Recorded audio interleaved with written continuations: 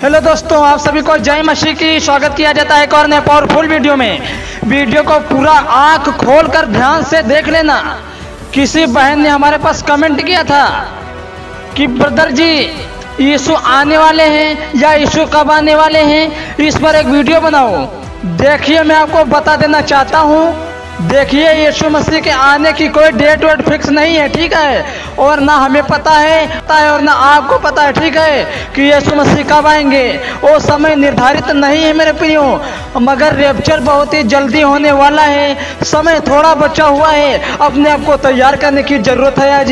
यीशु मसीह द्वार पर खड़ा हुआ है। मत्ती चौबीस का छत्तीस वचन में लिखा हुआ है, पढ़ देते हैं बाइबल से पूरे पब के लिए। उस दिन और उस घड़ी के विषय में कोई नहीं जानता। ना स्वर के दूत और ना पुत्र परंतु केवल पिता। जब यीशु मसीह आएगा जब यीशु मसीह आएगा तो उस घड़ी के विषय में कोई नहीं जानता है। ना स्वर के दूतों को पता है और ना पुत्र को पता है और ना हमें पता है और ना आपको पता है। बस हम सभी को तैयार रहने की आवश्यकता है। तैयार रहने की ज़रूरत है कि जब यीशु मसीह आए, कि जब यीशु मसीह आए तो उसके साथ ज़रूर चले जाएँ।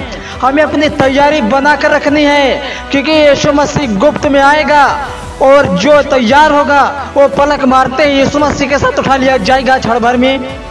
उस समय मन फिराने का अवसर नहीं दिया जाएगा और लिखा है मत्ती चौबीस अध्याय के चालीस वचन से चौवालीस वचन तक हम पढ़ देते हैं बाइबल से प्रूफ। उस समय दो जन खेत में होंगे। एक ले लिया जाएगा और दूसरा छोड़ दिया जाएगा। उस समय, किस समय जब यीशु मसीह आएगा, तब उस समय जो मनुष्य खेत में काम कर रहे होंगे, तब जो तैयार होगा, वो बदल कर उठा लिया जाएगा और दूसरे को खेती करने के लिए वहीं पर छोड़ दिया जाएगा। दो स्त्रियाँ चक्की पीसती होंगी, एक ले ली जाएगी और दूसरी छोड़ दी जाएगी।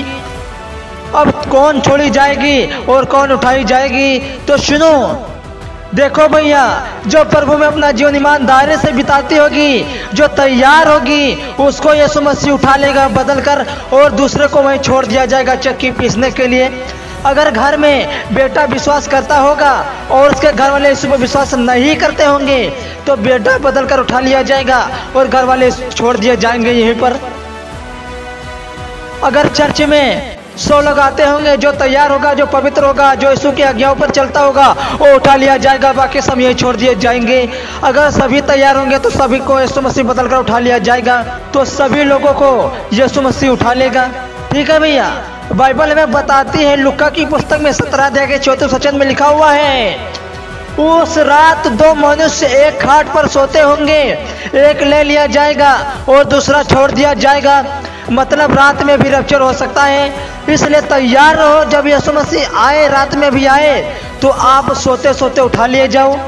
ठीक है? इसलिए जागते रहो। तुम नहीं जानते हो कि तुम्हारा प्रभु किस दिन आएगा। इसलिए जागते रहो, तैयार रहो। हम सभी को जागृत रहने की आवश्यकता है, पाप से दूर रहना है। ठीक है? प्रभु में अपना जीवन ईमानदारी से बिताना है। एक दूसरे को देख देख कर अपना जीवन नहीं बिताना है, मेरे प्रियो। क्योंकि परमेश्वर ने आपको चुना है। उस मनुष्य को नहीं चुना है भैया। परंतु यह जान लो कि यदि घर का स्वामी जानता होता कि चोर किस पर आएगा तो वह जागता रहता और अपने घर में सेंध लगने न देता। मेरे प्रियो, यहाँ परमेश्वर ने एक उदाहरण बताया है। कि अगर घर का स्वामी जानता होता कि चोर किस घड़ी आएगा, किस बार आएगा तो वह जागता रहता, अपने घर में चोरी होने ना देता। इसलिए मेरे प्रिय भाइयों और बहनों, हमें आपको नहीं पता है कि यीशु मसीह कब आएगा। इसलिए हम सभी को तैयार रहने की आवश्यकता है पाप से बुराई से अलग रहने की आवश्यकता है मेरे प्रियो। जो कहीं छूट जाएगा, उसको खून के आँसू रोने पड़ेंगे, पानी की जगह खून पीना पड़ेगा। जो यहाँ रह जाएँगे, छूट जाएँगे, वे लोग बिन चरोहों की भेड़े बन जाएँगे उस समय, क्योंकि उन्होंने अपना जीवन गलत कामों में एक लड़की को पटाने में समय गवाया था।